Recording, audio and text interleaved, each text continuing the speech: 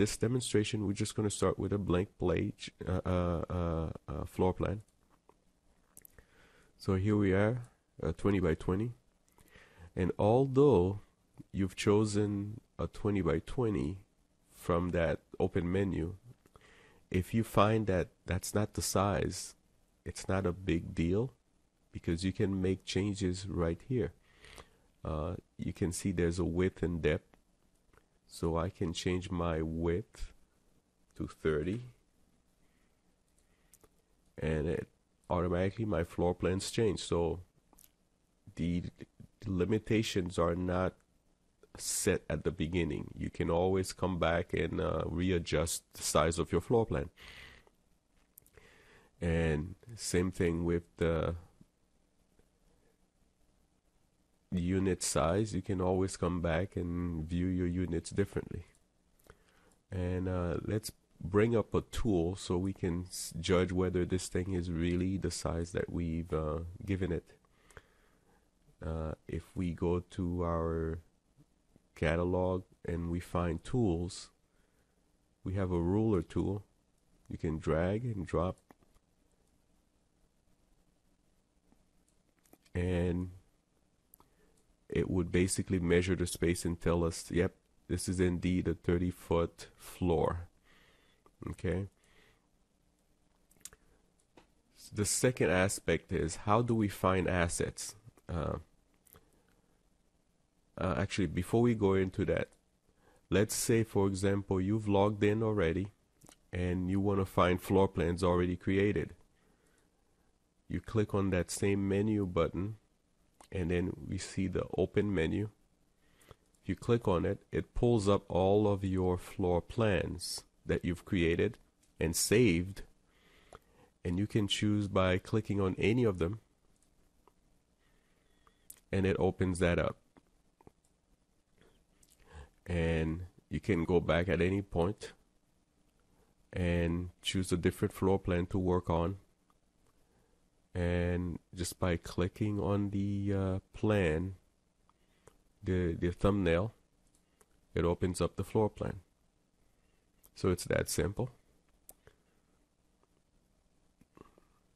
The other uh, option is of course anytime you want to save a floor plan and as you can see here the save button is disabled because I have not made any changes to that plan but I can always do a save as. So let's say I wanted to keep my original copy and just make another one.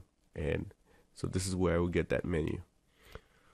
The other menu is print.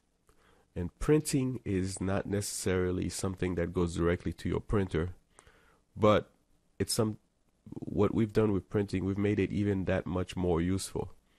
So if you click on print, what you've noticed is that the uh, the screen changes slightly, which means uh, this border is telling us where the print page is, and and we have the controls up here that tells us the paper size.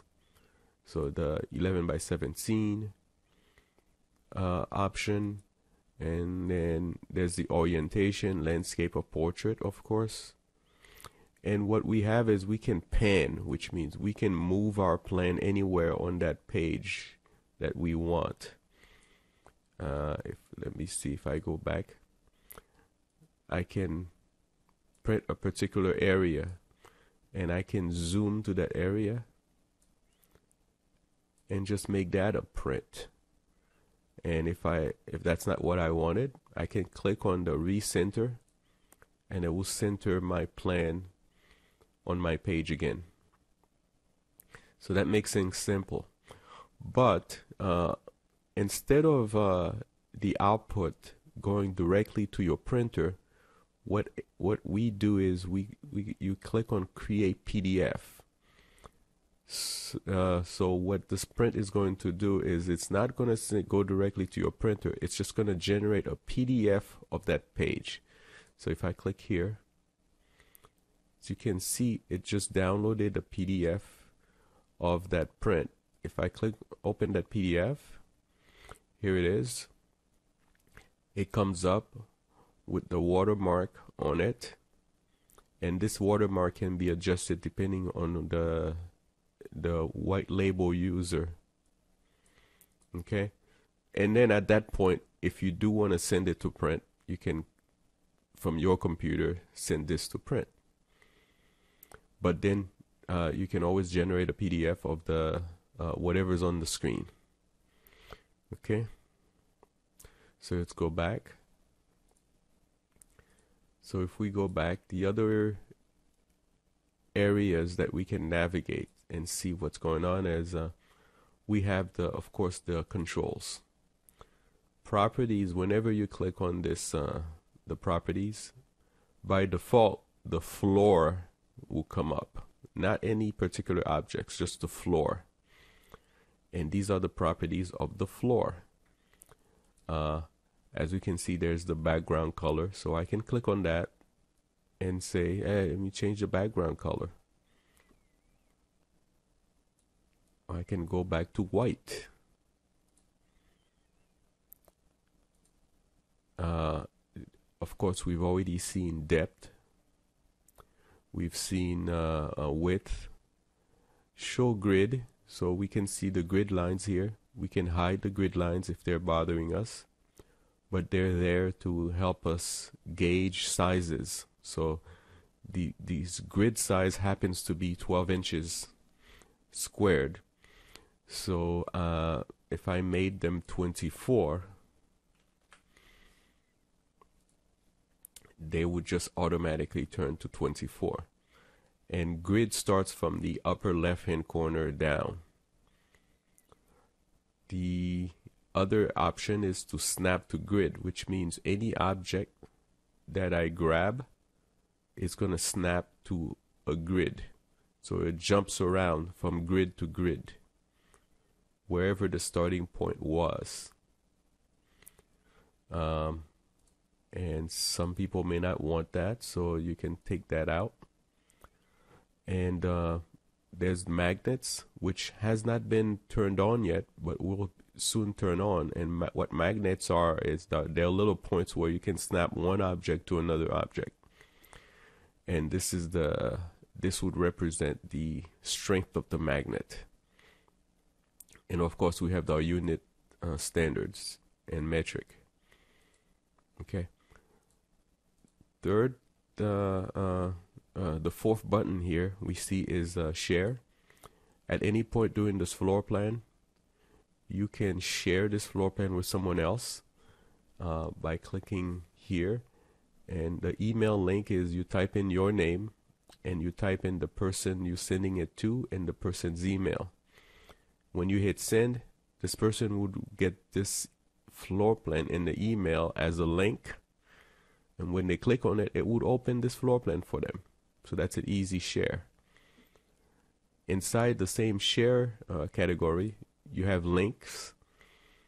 And what they are is there are those are direct links that you can copy of some uh, of a floor plan and actually paste it on, on on a browser window.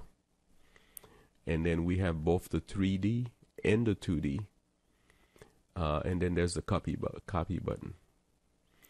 The embed code is kind of like a link but it's a link that you can embed into a web page. And all you have to do is uh, highlight this hit copy uh, and, and as you can see it's both for 2D and 3D so I can embed this floor plan